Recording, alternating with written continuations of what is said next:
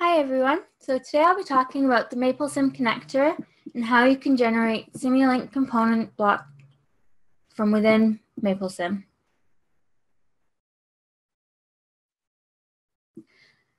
So to get started and to talk a little bit about MapleSoft and what we do here, MapleSim is, or, or Maple, sorry, is a symbolic mathematical computation engine based on over 30 years of research and development resulting in over 6,000 mathematic functions and intuitive user interface.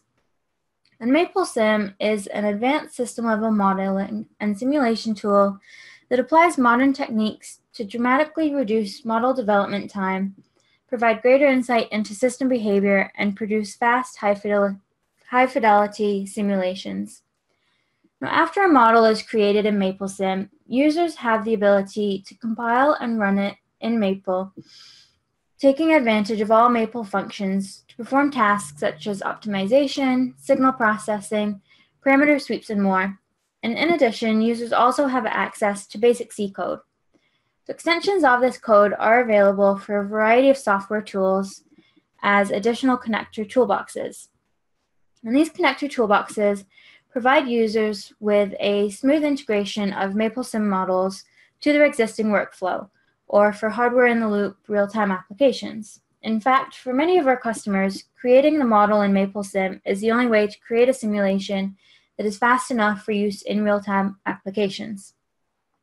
So these following slides focus on the MapleSim Simulink connector and how to generate S function blocks. So the MapleSim connector provides all the tools you need to prepare and export your dynamic system models to Simulink as S function blocks. You can create a model in MapleSim, simplify it in Maple by using an extensive range of analytical tools, and then generate an S function block that you can incorporate into your Simulink toolchain. You can also use these tools for exporting mathematical models that you've created in Maple as S functions. And various options allow you to use the C code generation feature in Maple to create code libraries of your MapleSim model for implementation in other applications. The MapleSim connector allows any MapleSim model to be exported to Simulink, including custom components and systems with dis discrete events. Models are generated as functions with multi-input and multi-output with user-definable parameter masks so that the Simulink block can be used immediately once created. Input ports are designated as non-feed-through input ports if they do not affect the output. Now this is an important step that really helps Simulink deal with algebraic loops between different Simulink blocks more effectively. We also have the ability to export any lookup tables that are being used within the model and this is so that parameters can be modified between simulation runs without having to recompile or pay the computation cost of having to recompile the model. Everything mentioned so far can be performed using a built-in Maple app that can be accessed via the MapleSim Apps tab. And I'll show you this later on in a demo. This app provides an easy-to-use template, allowing the user to enter important parameters select their options, and click a button to export without having to code anything. And for advanced users looking for custom application development, the Maple API provides pro programmatic access to all functionality. This is a step-by-step -step flow of the code generation, and I'll walk through this process with some example screenshots from within the MapleSim environment in the following slides. So you start by creating a MapleSim model, you specify the section for an S function block is a subsystem. You can use the Simulink component block generation app where a C code and the .m file are automatically generated. You can execute the M file to generate a library containing the S function block, and then you create the Simulink model. So the first step is to set up the model within MapleSim. And this is an example of a top-level system. This is a simple RLC circuit. So the basic structure of exporting a model is the subsystem seen here. Within MapleSim, there are different port types. So there are physical ports, such as electrical ports, as you see here in this model. There is also capabilities to add additional ports, such as hydraulic and mechanical ports, as well as signal ports such as Boolean, real, and integer. When generating code for subsystems, any ports must be real ports or, or real inputs or real outputs. And the, and the ports of the subsystem basically define the inputs and the outputs of your generated code. So in this case, we're using current as the input here, and we want to measure voltage as the output. So we have a voltage sensor that will give the signal output port.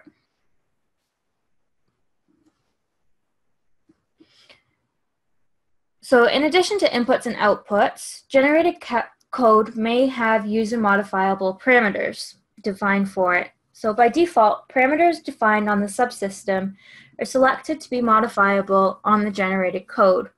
So in this case, the subsystem parameters of the RLC block are added here, and these will be modifiable when exported. in general, the fewer the parameters specified to be modifiable, the less time it takes to generate the code, and also the faster the, result, the resulting code will run. As a side note, not all parameters can be selected to be modifiable. Parameters that change the actual structure of equations, for example, adding or removing a variable from the entire system, will automatically be removed in this process. In terms of initialization, MapleSim's exported code assumes that all discrete events initialize to the same values uh, initialize to the same values that they would in a MapleSim model. For example, if there was a clutch in your model, uh, it would initialize to be in a lock state, as we would in a parked car.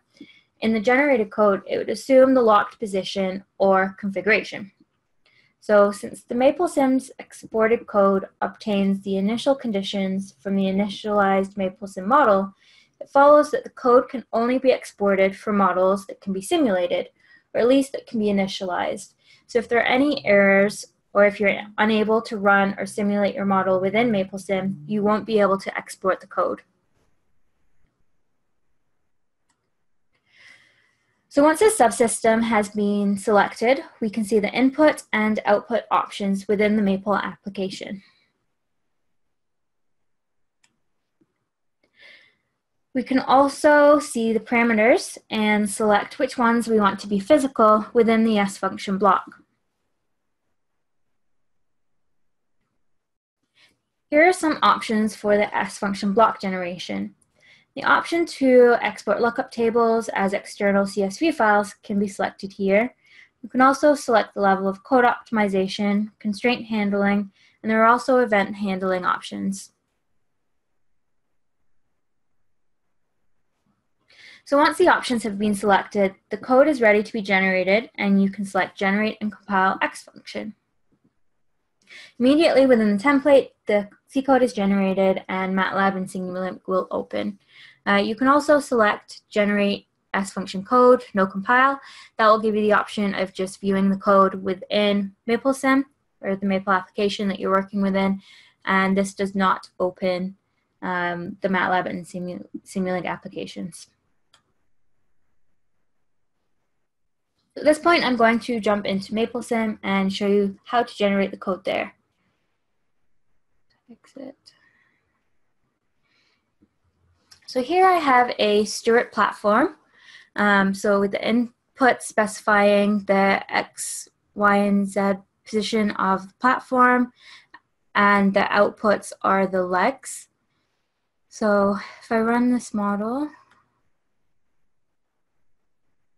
while that's running, I'm going to jump in and show you some of the structure of the subsystem. So here I have six identical classes, which are my legs. I jump in even further, so here I have a universal joint. Um, so this is at the bottom of each leg. So my results just popped up, but I can show you those in a minute. here I have a prismatic joint. So this is the extension of each leg. And this is a spherical joint. So this connects to the platform. In between them, I have um, rigid body components, and these allow me to specify the mass and the rotational inertia. We go back up. Oh, here, uh, into the platform. Um, I simply have a lumped mass, a lumped mass with, again, inertia. And I'm specifying a uh, just a simple positional input. So let's take a look at, check these up, what that actually looks like. So here's the animation from the simulation. So that's what we just talked about. Uh, we talked about the different joint connections, um, each of the six legs and my platform. and my plots. So each each of the legs plotted against each other, and these are my outputs. So at this point, I want to take, that's where I am. There we go. Um, so I want to jump into the Simulink component block generation.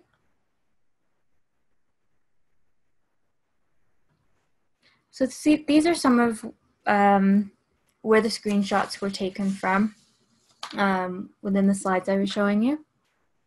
We can open this. So it just takes a couple of moments to load up. Um, what I want to do in the meantime, so here is the subsystem that we were working with.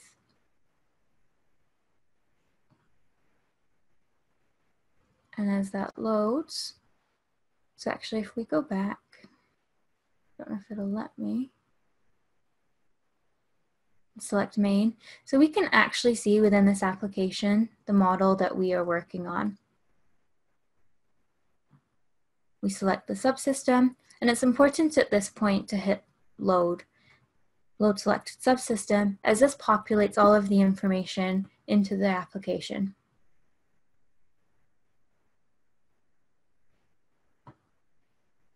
Here we have our configuration options, so inputs, and we see that it's populated our X, Y, and Z inputs.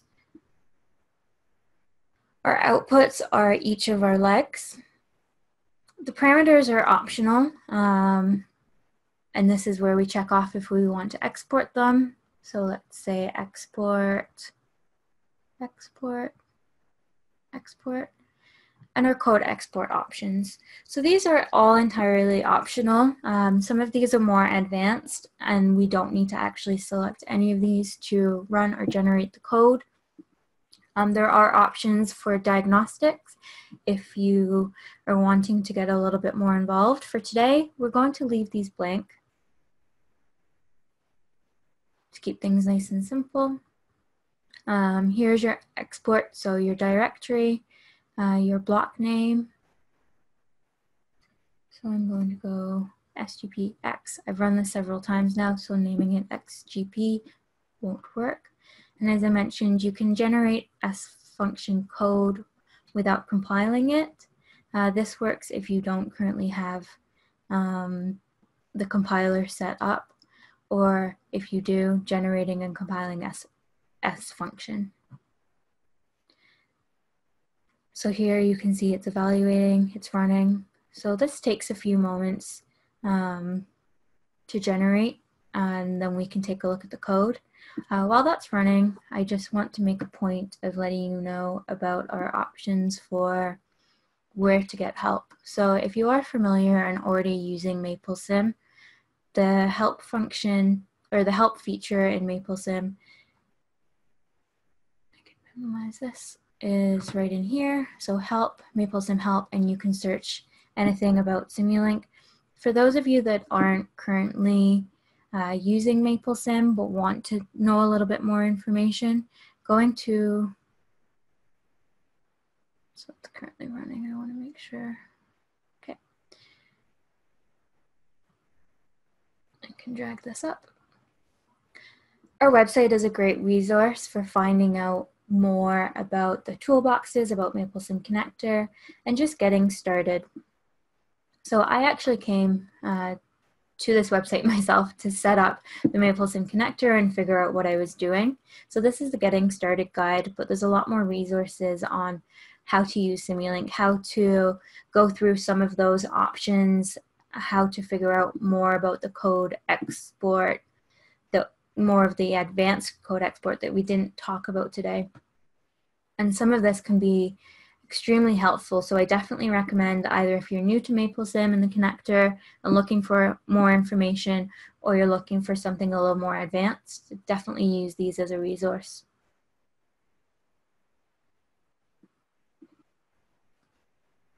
So it looks like our model is just about ready.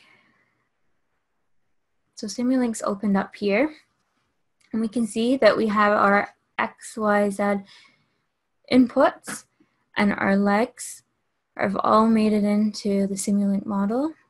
I can open that, oh, I can open that up and all of our variables, all of our parameters that we selected to export have all made it into our Simulink model and ready to be ready to be used. So just to summarize, uh, the MapleSim connector provides users with a smooth integration of MapleSim models into their existing workflow within MATLAB and Simulink. Model setup is easy and intuitive, and the Maple app provides a simple, user-friendly export process that enables you to quickly generate code. And if you need something a little bit more custom, the Maple API can let you do that too. Thanks again for listening today.